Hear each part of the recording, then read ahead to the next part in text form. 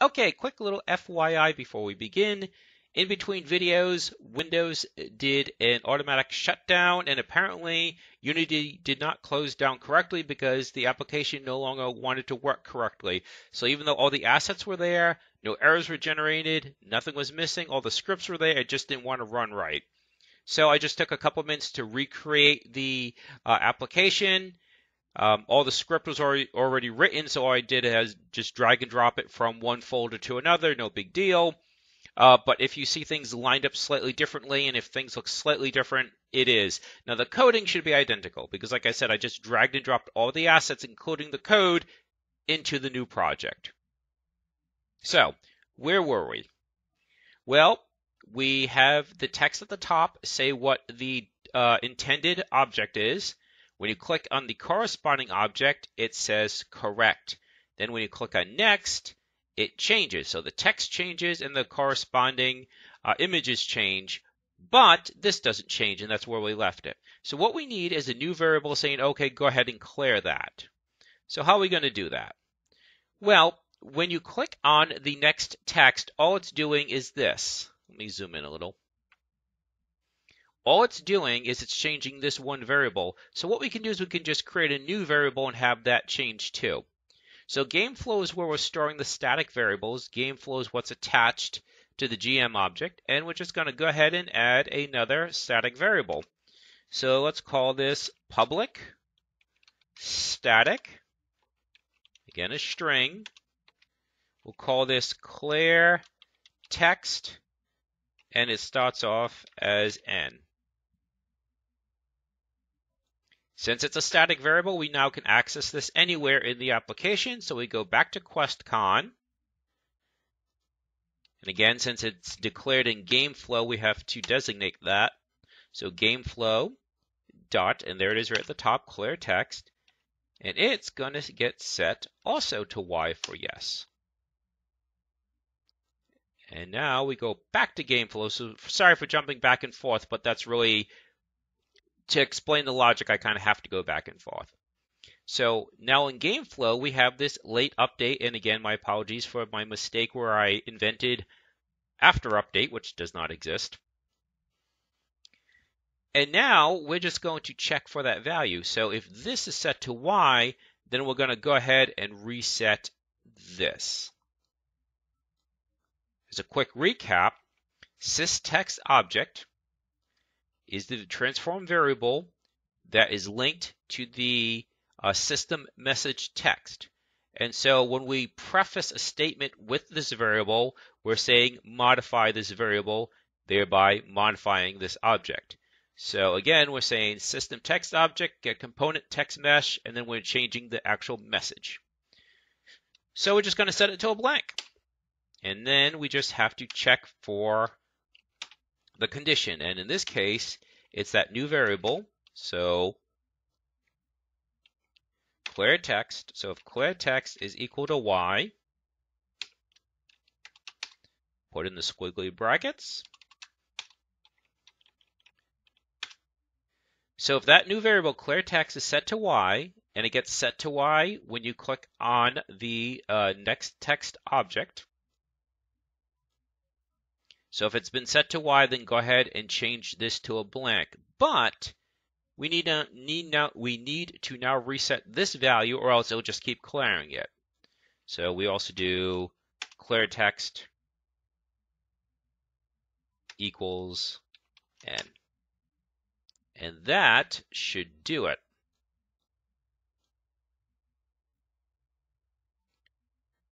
So it says click on save. I click on save, says correct. I click on next. It clears and it resets. I click on cockpit and there we go. So as I said at the end of the uh, last video, we would take care of that in this one. So a little bit of housekeeping there and now we can start adding new functionality. So someone said that they wanted to see scoring, which was the intention to do that. So basically, you're going to create yet another variable and it's you're just going to increment it. So whether you want it to be 1, 2, 3, 10, 20, 30, uh, maybe you're going to make this more complex and uh, different questions have different weights. You can certainly do that eventually, but you need to start somewhere. It's easier to start with something simple and uh, build on it rather than trying to jump into something really complex and maybe not have it work in the first place. Although, even when you start with something simple, you still want it to be scalable. So I just want to mention that. So how do we do that? Well, again, game flows, we're creating our static variables. So public static and we'll call this uh, well it'll be an int so it's a number so total score equals zero and make sure you do not put it into quotes because it is a number not a string you can put a number in quotes for a string. In fact, you have to. So if you're using a string that happens to be a number, like say, know, social security number or whatever, uh, if it's meant to be a number that isn't going to be manipulated and you're storing it in a string, then you would have to put into quotes. So it's a number that's going to be mathematically calculated, so no, it does not need to be in quotes. In fact, it would give you an error if you put it into quotes in this instance. So we now have a new variable. So we already have an area that checks to see if it's correct. So in the update section of GameFlow, we already have if player clicked yes.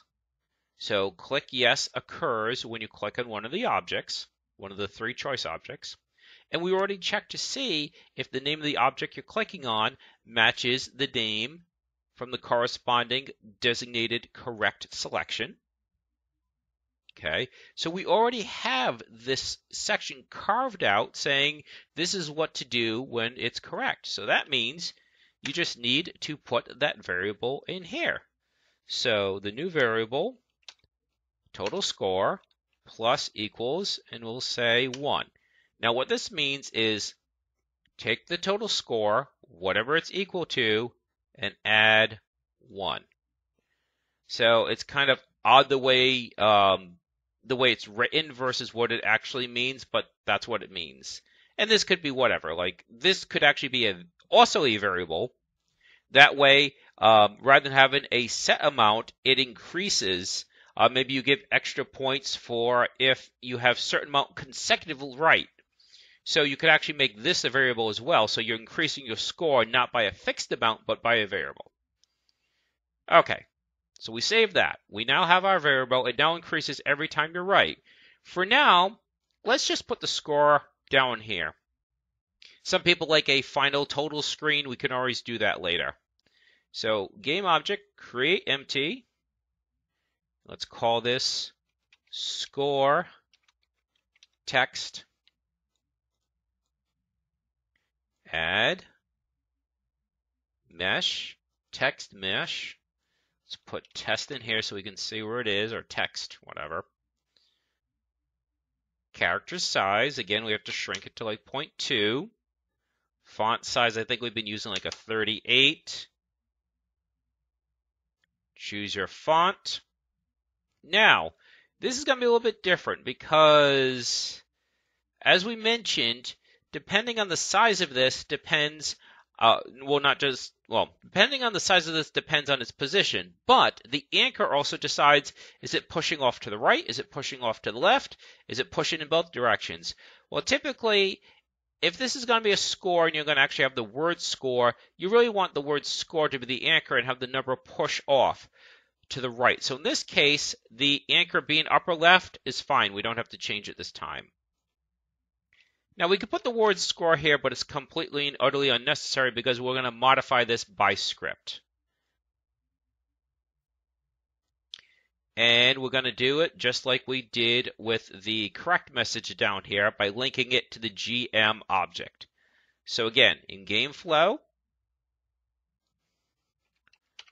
public transform and we'll call this score. Well, I already already used the word score text, so we'll call it score text obj. Again, I like to put that suffix on it to just so I remember that it's an object when it's giving me the suggestions in that pop-up uh, menu. So when I save it, it will appear over here. Take the new score text object, put it there.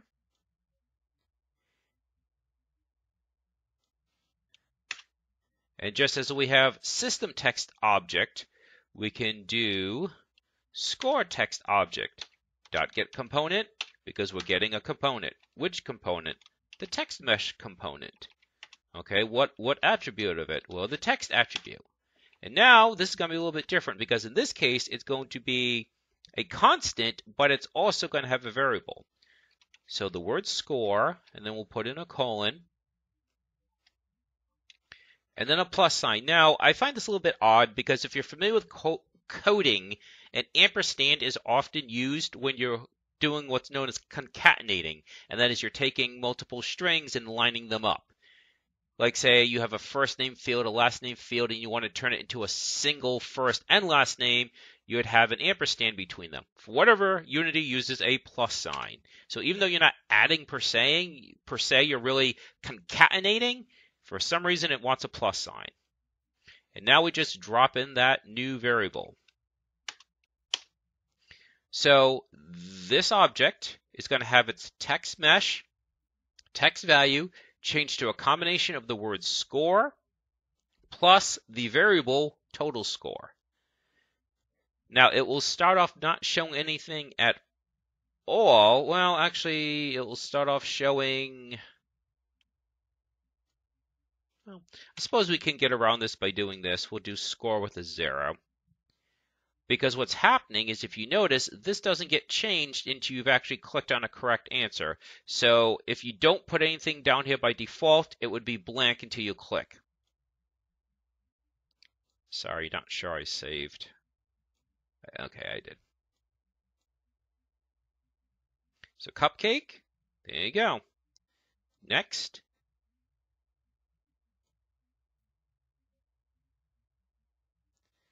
Safe. Let's click on the wrong one. Incorrect does not increase.